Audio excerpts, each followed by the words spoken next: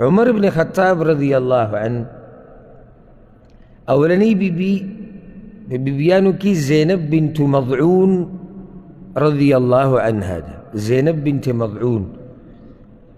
او دا په قریشو کې ده او د مشهور صحابي عثمان بن مضعون رضی الله عنه خور ده دی اسلام هم قبول کړی او په مکه کې به هجرت هم کړی او مدینې ته د خپل خاوند سره عمر رضی الله عنه سره او د خپلو بچو سره او د دې زینب نه الله رب العزت عمر رضی الله عنه له لور ورکړی و چې د هغې نوم حفصه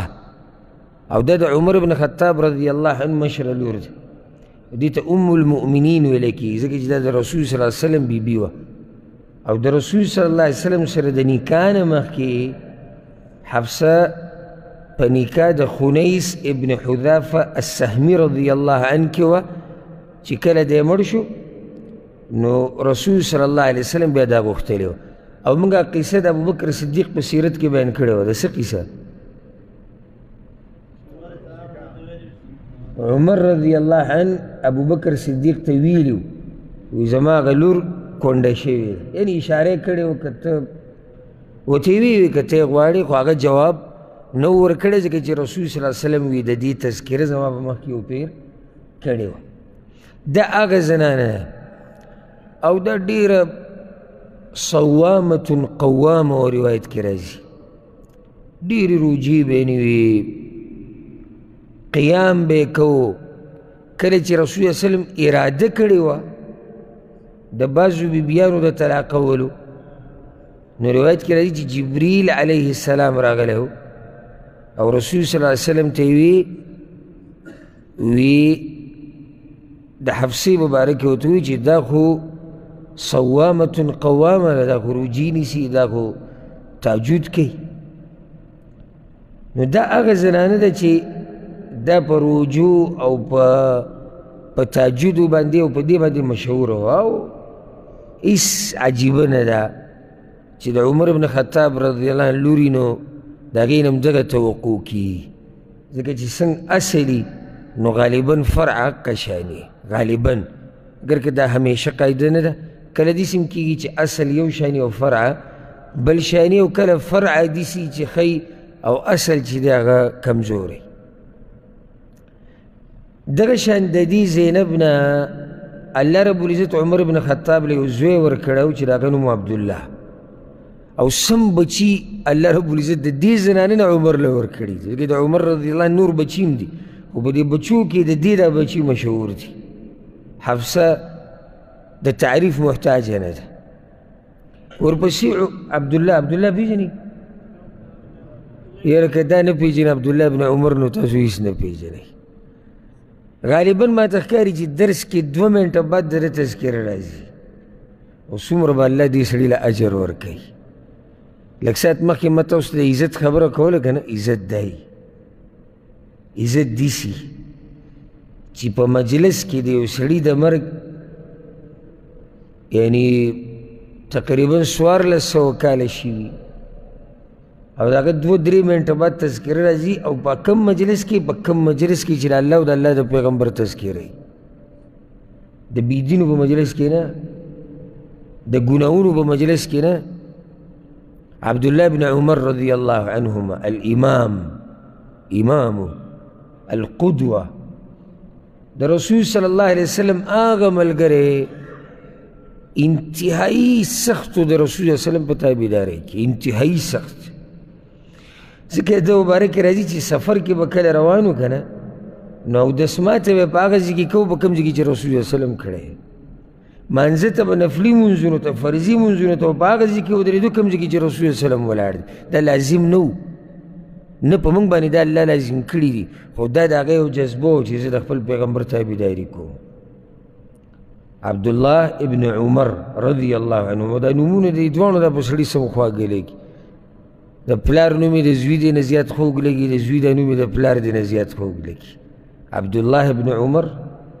رضی الله عنهما الزاهد العابد زاهد انتهایی او عابد انسان او دا سره یاد کوي بین القوسین د بریکټ په منځ کې دا ځوان سړی و یعنی رسول صلی الله علیه وسلم چې احد ته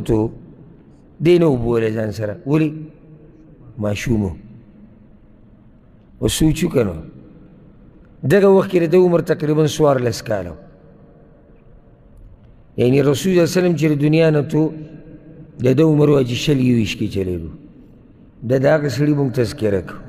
ځکه ذهن کې به دی چېرې د عبدالله بن عمر ډېره تذکره کېږي دا انتهایي سپینګیری سړی و د رسول سلم ملګری و خوا کې ورسره همیشه ناست و د ځوان و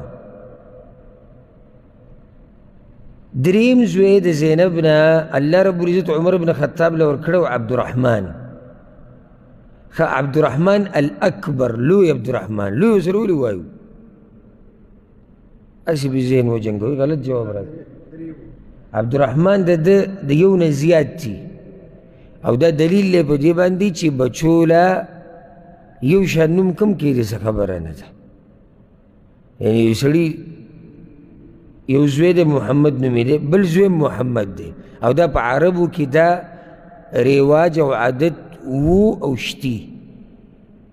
عربو کې اوسو ډېرې ښه خبرې دي یو په ښو خبرو کې دا ده بل دا چې دوی د نیکه نوم ږدي اکثر د نوسي نوم د نیکه په نوم او دغه شان د دوی هغه نسب او خاندان ټول پاتې شي یا دي دوی ته زمونږ هغه به په په شپږم او پنځمه پیړۍ کې هم د چا نوم پاتې شوی هغه نشي یادولی نو هغه به چاته یادي او که دې نن سبا د هلکان نه یې تپوس وکړو چې ستا د نیکه څه نوم او د نیکه د پلار څه نوم نو دی به ته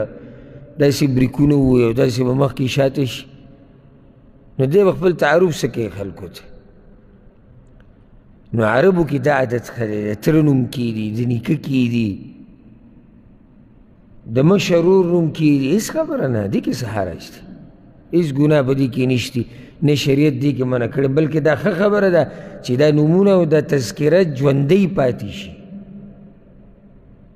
نو یو زوی د ده عبدالرحمن او د ده کنیت ابو عیسی او زما ګمان به او ان شاء الله صحیح ګمان به چې دا به تاسو کې پته نه څه ویم چې یو کس دوه ته معلوم وي ها نو ځان له بیا جواب ورکړي زه به څه نه وایم چې څومره موږ خبر یو د خپلو مشرانو د تاریخ نه عبدالرحمن کنیت ابو عیسی دی او دی د رسول صلی الله علیه وسلم په زمانه کې وو او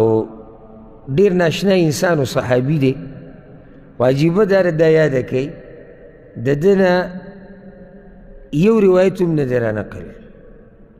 ده د رسول صلی الله علیه وسلم نه یو روایت هم نه دی رانقل کړی نو بعض صحابه کرام داسې وو لکه بعض به ګېرېدو چې یاره داسې نه زموږ نه زیاتی وشي نو ده اگر که د صحابه کرامو کې خو د روایت نه دی نقل نو د زینب نه درې بچي